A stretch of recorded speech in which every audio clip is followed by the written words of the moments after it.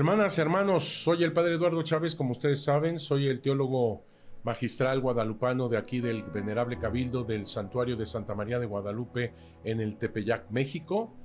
Fui el postulador oficial de la causa de canonización de San Juan Diego y actualmente soy el director general del Instituto Superior de Estudios Guadalupanos que surgieron, fue fundado en el 2003, el 3 de septiembre del 2003 gracias a todo lo que fue la postulación para la causa de canonización de San Juan Diego, todo este proceso dio tanto, tanto fruto que no podemos olvidarlo, no podemos dejarlo, no dejamos que esto se pase más, sino que se continúe, se continúa profundizando.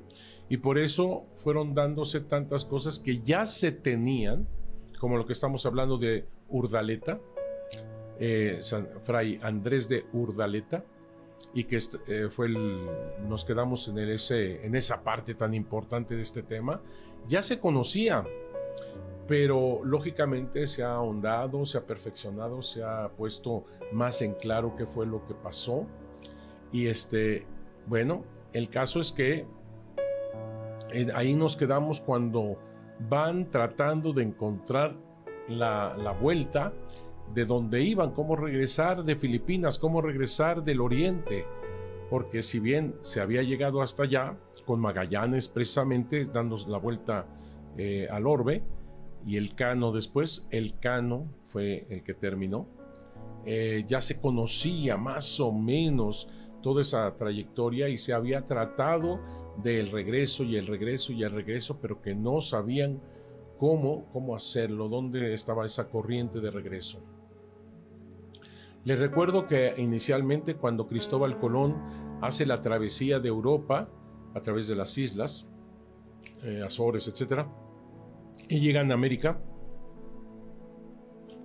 él tenía ciencia marítima y tenía eh, esto de saber conocer la corriente de regreso. Una corriente que les llegara, que los trajera de regreso. Es como aquel que va con un cohete a la luna, sí, mucho gusto. La potencia y todo eso, salir y, irse a la luna. Pero después, ¿cómo regresas? Aquí es el punto. Así eran estos viajes marítimos. Así que, eh, hablando de Cristóbal Colón, él capta que yéndose hacia el norte, estamos hablando a un lado de la Florida, digamos, ¿no? Hacia el norte, ¡Fum! Llega esa corriente que los regresa a España. A veces los manda hacia Portugal, a veces al mismo España, en fin. Eso era lo que se trataba de buscar en el otro océano, en el Pacífico.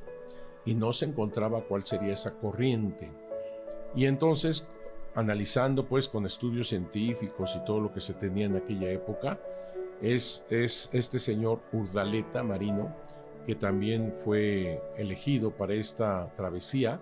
Él ya estaba muy tranquilo con los agustinos, él estaba en México con los agustinos, pretendía pasar sus últimos años aquí, pero él, el más experimentado era un monje, sí, pero al mismo tiempo él había estado como harinero en tiempos de Magallanes y todo eso, o sea, era el más experimentado para hacer toda esa travesía. Él con la Virgen de Guadalupe, eso sí tenía un gran cariño, un gran amor a la Virgen de Guadalupe, que ya estamos hablando en esos años donde ya se veía fuertemente la, la gran difusión del mensaje guadalupano en todo lo que era la Nueva España, así como lo es. Así que es muy interesante porque estamos hablando de 1564, 1565, cuando se hace esta travesía. La Virgen de Guadalupe, te recuerdo, se aparece en 1531, o sea que se tenía unos treinta y tantos años apenas y, ya era muy amada, muy querida la Virgen de Guadalupe. Te recuerdo también que en esos años, estamos hablando de 1566, un añito después, viene todo ese problemón entre el segundo arzobispo de México y, y también este, o sea, Montúfar, y 1556, perdón 1556, pero después en 1565, ya, 1565 viene el segundo concilio provincial mexicano en donde también se va clarificando muchas de estas cosas de Guadalupe. En los dos concilios, de hecho, el primero, 1555, y en el segundo, 1565. El viaje este que te estoy diciendo, 1564-65, estamos hablando de este contexto de viajes. Pero en la referencia a lo primero, 1555 fue el primer concilio provincial mexicano presidido por Montúfar, como te digo, y después viene una gran trifulca en 1556. 1556 ya se veía cómo la Virgen de Guadalupe había sido tan fuerte, no solamente con los indígenas, sino también con los españoles. En 1556 es esta información en donde nos habla del gran problema que tuvieron los franciscanos y Montúfar. Y ahí se manifiesta en este testimonio, estos testimonios de este gran problema entre, entre Montúfar y concretamente el prior de los franciscanos, Francisco de Bustamante, quien lo acusaba de tantas cosas miserables, la verdad, tantas cosas, y, y todo porque no estaban de acuerdo con la devoción guadalupana. Y cuando llega este segundo arzobispo de México, enojado por ese primer concilio provincial mexicano de 1555, Francisco de Bustamante, enojado porque le habían quitado parroquias tan, tan importantes a los franciscanos y se las había dado a los diocesanos y algunas a los dominicos. Entonces era el enojo terrible, era por otra situación, como ves, pero con ese amor que tenía Montúfar a la Virgen de Guadalupe, que se la había encontrado, que ya estaba muy difundido en el evento guadalupano, la devoción guadalupana cuando llegó Montúfar, y él se enamora de la Virgen de Guadalupe, y entonces viene el gran problema. 1556. Y ahí los, los españoles declaran en esos testimonios el gran amor que tenían a la Virgen de Guadalupe. Incluso algunos de los testigos dice, pues aunque le pese a Bustamante hemos de ir, si antes íbamos una vez, ahora iremos cuatro. Así le dice este testigo español en ese juicio que se arma, que ahora se llama Información de 1556. Por tal motivo, con todas estas cosas que se están dando, se habla fuertemente de cómo la devoción guadalupana estaba hasta lo profundo del corazón. Te recuerdo que de 1531, cuando se aparece, se da la gran conversión entre los indígenas, como nunca antes se ha dado en toda la historia de la iglesia. Y luego, como decíamos, enmarcando esto, en 1565, que es el segundo concilio provincial mexicano, en todos los artículos que habla, Claro que hay una confirmación del evento guadalupano porque ahí se define, tanto en el primero como en el segundo, que se quite todo aquello que sea falso, que sean inventos, que no sea real, pues, refiriéndose pues a los santos, a las iglesias, a las ermitas, a las capillas, donde tiene que existir una aprobación de parte del arzobispo. Y esto lo tiene obviamente la ermita del Tepeyac, porque si no fuese así, desde el primer concilio que lo dictamina, hubieran destruido la ermita, hubieran destruido la imagen. Si fuera todo un engaño esto de la aparición y de que la imagen está en la tilma de Juan Diego. Si eso no fuese cierto, la hubieran destruido, según el Concilio Provincial Mexicano, por ejemplo, en 1555, que es el primero, y así lo dictamina. Así que estos concilios confirman el evento guadalupano, la seriedad, la ortodoxia, la verdad del evento guadalupano. Pues bueno, estamos ahora hablando de 1564, 1565, estamos hablando de, de esos momentos, por eso lo recuerdo. Y es cuando mandan a ver hacia Filipinas esta nave, esta armada, era una armada tremendamente grande, y, y estaba un barquito en esa armada iba un barquito, Petacha, Petacha o Patacha como lo llaman, así se le llamaba este barquito de inspección. Era un barquito que ayudaba para explorar donde la armada más pesada podía pasar, por qué canales, por qué partes, porque pues obviamente no se sabían los niveles de, profundidad de, de esas partes donde se iba a ir. Así que esta patacha iba a llevar mucho para explorar. Resulta que van hacia las Filipinas, ya están llegando a Filipinas, cuando se les pierde la famosa patacha. se les pierde el barquito. Y en la negrura de la noche, en las tinieblas, pues los del barquito no dan tampoco con la armada, a pesar de que se tenía fuegos distintivos, o sea, habían eh, lumbre que, le, que ponían en ciertas partes del barco para ser identificada. Se les perdió. Y la andan buscando, según también tenemos pormenores de esas informaciones. La andan buscando, andan buscando la armada. Y la armada seguía también buscándolos, incluso dejaba notas a donde iban llegando a los indígenas que habían logrado una cierta paz, porque no eran fáciles. Perdón, habían muchos combates entre los españoles y aquellos, aquellos este, indígenas que se encontraban.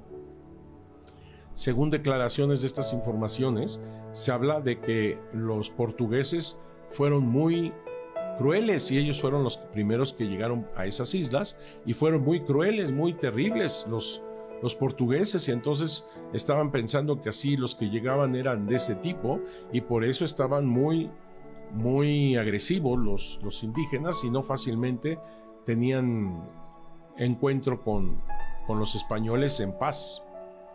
Tremendo eso, y entre la armada, entre que iba en las islas, en ese archipiélago, buscando, acuérdate que ellos buscan las especies, eh, ellos buscan las especias, perdón, el clavo, la canela, etcétera, etcétera, que era mucho más caro que el oro mismo en Europa. Por eso tan importante estos productos que solamente se obtenían en esa región. Y era importantísimo encontrar este camino de comercio que era lo que intentaban los españoles en ese momento y por eso mandan a este Urdaleta con ellos porque era un marinero experto. Yo me imagino que además su ser, eh, que era un agustino, ayudaba espiritualmente a todos los que iban en estas armadas. Mientras tanto, los del barquito, perdidos también perdidos. Y, no es porque se hayan querido regresar sin más y luego, luego, se les estaba acabando la comida, el agua, etcétera. Sufrieron lo indecible porque andaban tras la armada. ¿Dónde está esta famosa armada? No la vemos entre las islas y demás. Pero llega un momento en que este barquito, subiendo hacia el norte, va captando la corriente de regreso. Y entonces tienen que decidir si se iban por esa corriente de regreso a la Nueva España o seguían buscando la armada que no la encontraban, pero sus víveres, su agua, etcétera, se estaba acabando. ¿Qué hacer en una situación semejante? Y entonces deciden irse a la Nueva España. Así que optando por esa corriente de agua, regresa este barquito y entre mil penurias, entre tormentas, vendavales, estaban a punto de todos naufragar, es cuando le prometen a la Virgen de Guadalupe que llevarían lo que se llama el primer mástil, digamos, del barco, que, que lo llevarían al santuario de Santa María de Guadalupe si lograban salvarse, si la Virgen de Guadalupe los salvaba. Así que entre tormentas, borrascas, hambre, sed, enfermos además, porque ya todas las encías con el escorbuto no podían ni comer, se les caían los dientes. Muchos estaban en ese tono. Imagínate tú la adversidad cuando le piden a la Virgen de Guadalupe con toda su devoción de que llevarían el trinquete, así le llaman, a, esa, ese primer mástil, ¿no? De, de, proa, de la parte frontal del, del barquito, que era lo que estaba sobreviviendo, además de tanto tormenta y demás. Se habían desgarrado las velas, evidentemente, ya las habían parchado, se desgarraron igual, etcétera, etcétera. Muy interesante todo esto de la vida. Yo les recomiendo un libro muy, muy, muy, muy interesante y muy bien documentado del padre Mariano Cueva, sacerdote jesuita. Monje y marinero se llama esta vida de, de Fray Andrés de Urdaneta. Urdaneta seguía en la armada, ¿eh? Urdaneta seguía en la armada, viendo todas las, islas, etc. Y el barquito es el que regresó. Logró llegar a salvo a la Baja California. Se dan cuenta que para mí ese es otro misterio. ¿Cómo es posible que sepan exactamente por dónde están? Porque, pues acuérdate, en esos años pues no, no tenían mapas bien a bien. O sea, una cosa realmente de milagro. Y van bajando a Acapulco. Acapulco, que sirvió como de salida de toda esta armada, incluso del barquito. Acapulco, donde Andrés de Urdaneta, con su experiencia, había preparado tantas cosas en este puerto, que era el más mm, a tono para, para ida y regreso, por si traían cosas de allá de las islas, ahí pudieran almacenarse. O sea, realmente la experiencia de este Urdaneta es maravillosa y ellos son los primeros quienes regresan gracias a la devoción a la Virgen de Guadalupe. Y vienen, por supuesto, con su trinquete, este primer mástil del barquito, que fue lo que sobrevivió al, final de cuentas. Esto, estos lo traen aquí al santuario de, Santa María de Guadalupe y lo ponen como un exvoto, es decir, como un testimonio de lo que ella, ella, lo salvó en medio de la, de la tempestad, en medio de toda esta distancia, en todas las dificultades, en el hambre, en la enfermedad, cómo la Virgen de Guadalupe tuvo a bien salvarlos. ¿Verdad que está interesante? Interesantísimo. Interesantísimo por muchos motivos. Porque se descubre por primera vez esta corriente de regreso. Ah, y además de todo el milagro, por supuesto. Cuando por fin esa armada regresa también tomando ese mismo, esa misma corriente que ellos captaron ya y regresan y de igual forma, ¡pum!, hacia California, va bajando hasta Acapulco. Hay un, hay un juicio, hay un juicio contra aquellos que estuvieron en el primer barquito de parte de la Armada, porque pensaron que ellos, a propósito, se habían regresado teniendo la corriente, captando la corriente, ellos a propósito se habían regresado para tener esta, esta gloria de haber encontrado el regreso, esa corriente de regreso que tantos estaban buscando. No era así, no era así. Fue realmente una cosa, una fortuna haberlo hecho en esas tremendas dificultades de haber pasado nada menos que el océano Pacífico para lograrlo. Así que no fue por una cosa que ellos hayan decidido para disque robarles la gloria. Por poco se mueren. Por poco se mueren. como O sea, ahí se fue. ellas ya saben, estos problemas que se tienen de repente de envidias, de corajes, de, de, cómo es posible, tú te ganaste la gloria en mala forma, en mala, en mala lid, etcétera, etcétera. Ya sabes, cosas de, de repente que suceden. Y todo esto fue en 1564, 1565, precisamente cuando se da el segundo eh, concilio provincial mexicano presidido por Montúfar. Así que prácticamente, si lo vemos así, es el momento en donde hay tanta fuerza del evento guadalupano y todas estas cosas, por supuesto, que dan más todavía, más fuerza a todo esto. Estamos hablando de 1564, 1565. 100 años después, 100 años después, 100 años después, hay otras informaciones.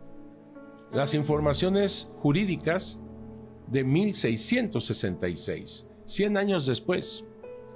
En esas informaciones jurídicas de 1666, ya lo he dicho en otros programas, se manifiesta la gran devoción a la Virgen de Guadalupe. La gran devoción. Y se pretendía con estas informaciones jurídicas de 1666 alcanzar de parte de la Santa Sede misa y oficio dedicado a la Virgen de Guadalupe. Y por supuesto, cuando manejan todas las la historia y demás de todo esto, tienen muy en cuenta toda la devoción que se da en el evento guadalupano, por supuesto que sí. Todo esto servirá también posteriormente cuando se trate de este proceso para la canonización de San Juan Diego, viendo que no es ninguna invención de ningún español. Te dije, en 1500, 1565, eh, en esos tonos, en ese momento, hay una gran devoción a la Virgen de Guadalupe, pero seguimos con estos franciscanos que no la entienden. De hecho, el gran problema fue en 1556, o sea, 10 años antes, 1556. ¿Y por qué fue el gran problema?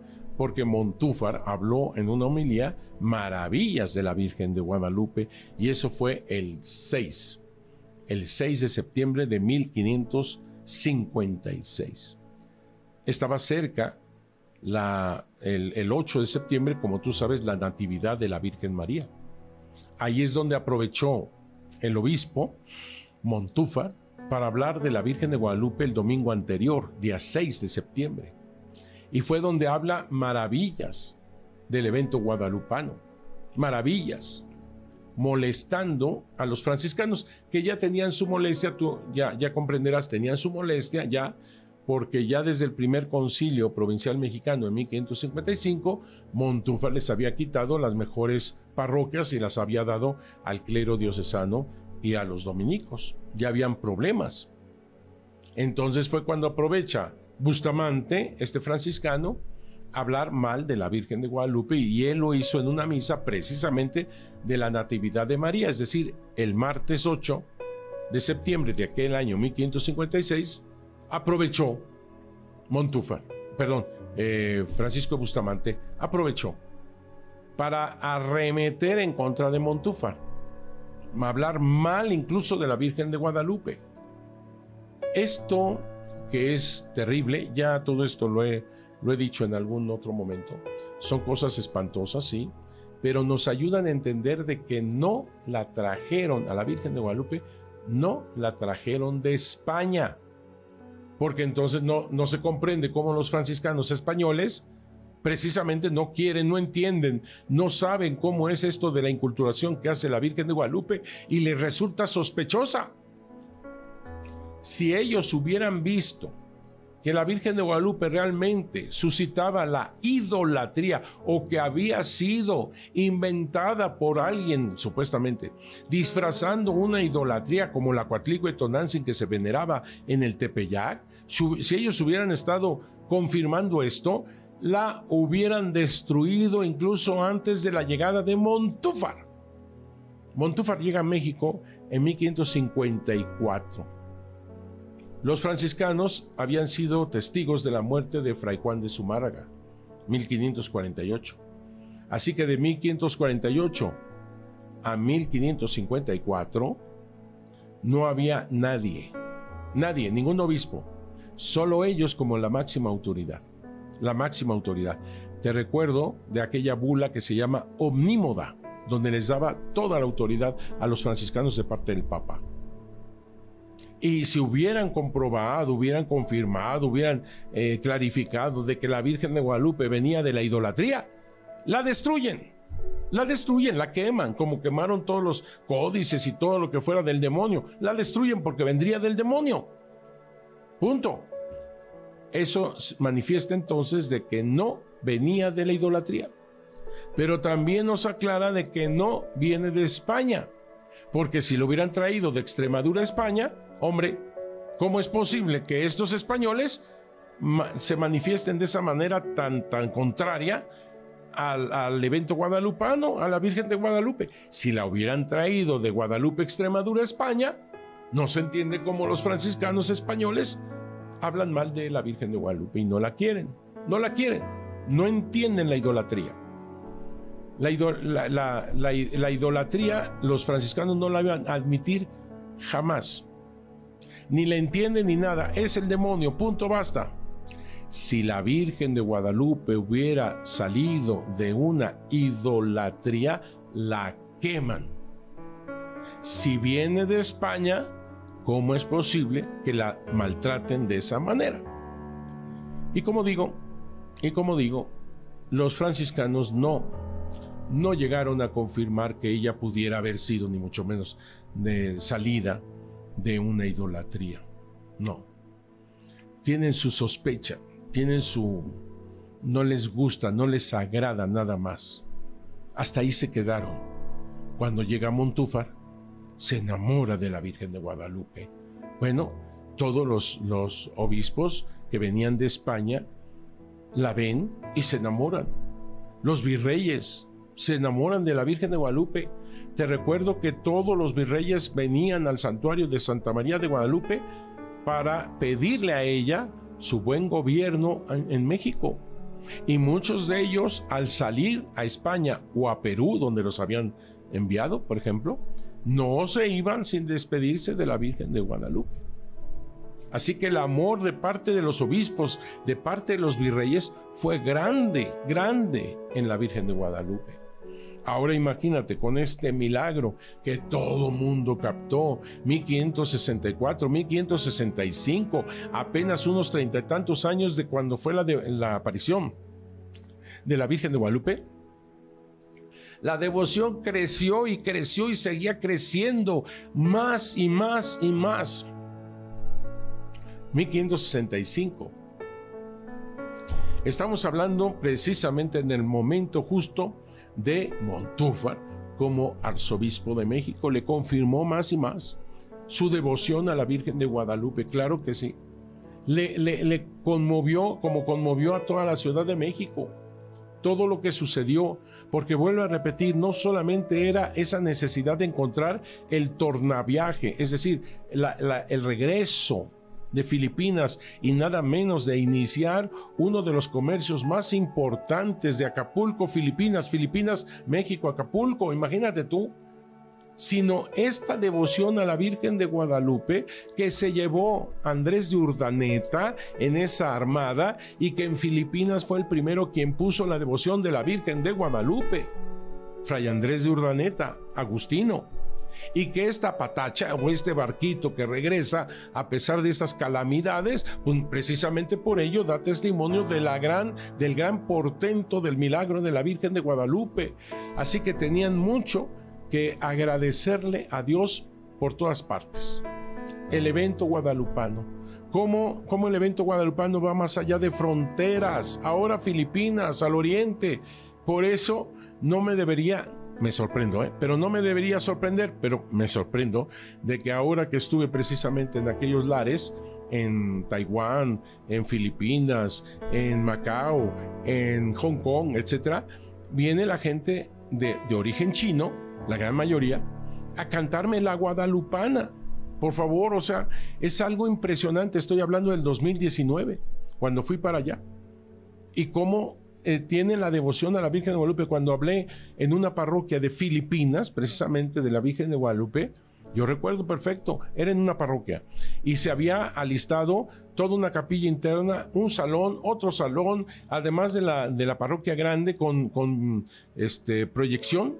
Yo hablaba en la capilla de abajo, estaba lleno, pero también estaba lleno en otras partes donde también atendían todo esto. Y, me acuerdo perfecto que antes de llegar a esta parroquia para hablar de la Virgen de Guadalupe, todas, todas, todas las calles, las casas, las, donde estaba la entrada de los autos, etcétera, todas tenían imágenes de la Virgen de Guadalupe en todas las casas, de todas las calles, de toda de la parroquia, por el amor de Dios.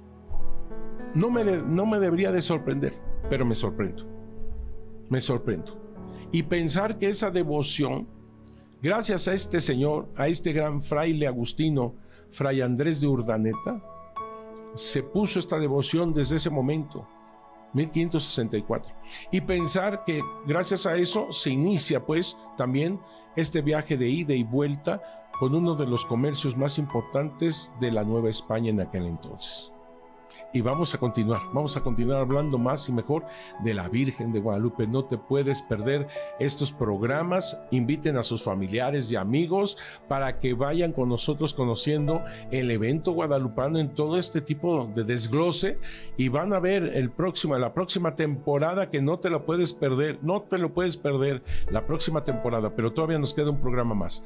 Que Dios los bendiga mucho, cuídense mucho y que la Virgen de Guadalupe los cubra con su manto lleno de estrellas y de amor.